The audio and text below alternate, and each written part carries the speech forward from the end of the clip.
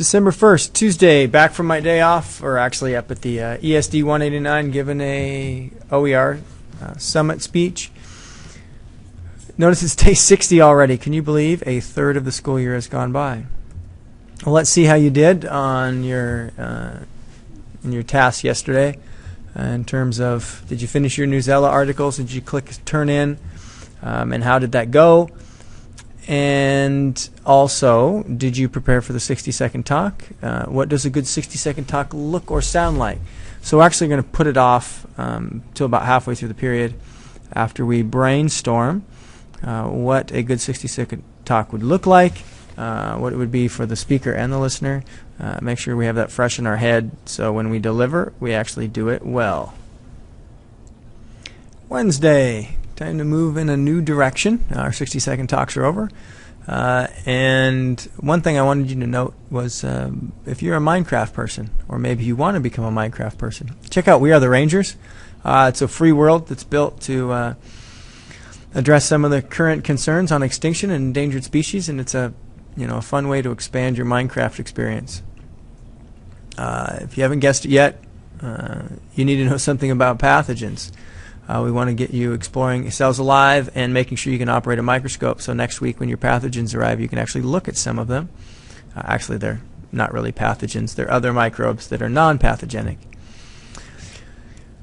Uh, I wanted to point out uh, vocabulary tips with read and write. Don't forget about read and write, and don't forget about uh, Quizlet's uh, audio tools. In either case, if you launch those tools, um, you can hear how words are pronounced. You can have things read, read to you, and I know that can be challenging in science when you try to read something you can't pronounce. Uh, first up, cells alive. I wanted you to be aware of it in case we didn't get to it yesterday. Uh, it's a great place to explore bacteria and compare how they result to, or they uh, check out how they compare to your cells. Uh, the fungus tank is ready to be sealed. Any other additions to the tank. Uh, we're going to let it grow, so we'll seal it up, uh, make some predictions, and see whether or not they come true over time. Uh, a germ theory, a TED Ed germ theory video on the history of germ theory, followed by Horton Hears a Who, uh, the original Dr. Seuss cartoon, uh, from the point of view of uh, a scientist and the trials and tribulations that people have gone through, especially scientists and educated people throughout time, trying to get people to establish new ideas. Uh, people tend to hang to their beliefs even to the point of death. And uh, Horton kind of gives us an example of what that's like. And then uh, your microscope uh, introduction. Uh, we're gonna. You need to make sure you can master the microscope uh, before the microbes come. so we have a whole set of tools for you to, to learn about microscopes. Thursday, December 3rd. Who are the Who's? Uh, if you didn't recognize them, uh, Horton Hears a Who is the launching cartoon for Dr. Seuss and some of these characters. And in it, you would have caught the cameo of the Who's and the Grinch. And yes, this is where the Grinch that stole Christmas comes from. Think about the Who's on the dust speck, and in this in the Grinch Christmas version, they live on a snowflake. Um, similar outcomes as we've seen uh, this time to get there, uh, I've got two Quizlet sets on bacteria or viruses and bacteria for you to study with, including uh, a microscope video and handout when you're ready uh, to learn more about microscopes. Make sure you can pass that quiz before you get the chance to work with microscope. All right, Friday, December 4th. How long have humans had microscopes?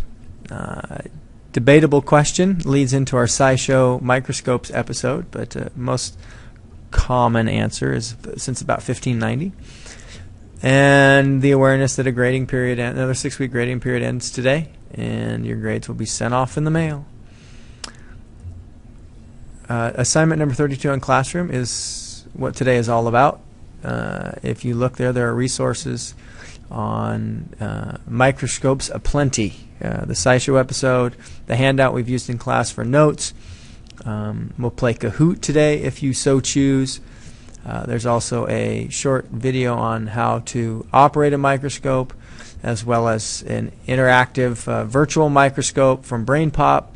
Uh, use any or all of those to make sure you can master the microscope. Uh, quiz is there to be taken anytime you're ready, and uh, just make sure you get it taken by the middle of next week, say by Tuesday, before the microbes come. Uh, Monday, November 30th, you start the week off with a substitute. So make sure you're good. Uh, no understand do's. Uh, again, back with knowing what pathogens are, how they affect humans, and you are going to give a 60 second talk to a small group uh, at your table on a bacteria topic. So, the lesson plan for the day uh, Newsela articles, which is assignment number 28. Uh, just want to get a feel for uh, your uh, reading skills and whether or not you've been on Newsela and you can navigate and do all those sorts of things. So, it's just uh, kind of a precursor to what's to come. And you're going to prepare for a 60 second talk, which you're going to give tomorrow. Uh, if you go to assignment number 30, uh, there is a spreadsheet that has by period. Make sure you go to the bottom and look at the periods. Click on your period, you'll see which topic uh, you have assigned to you and which other people have the same topic, and you can work together or apart to prepare to give a 60 second talk on your topic. And that's the plan.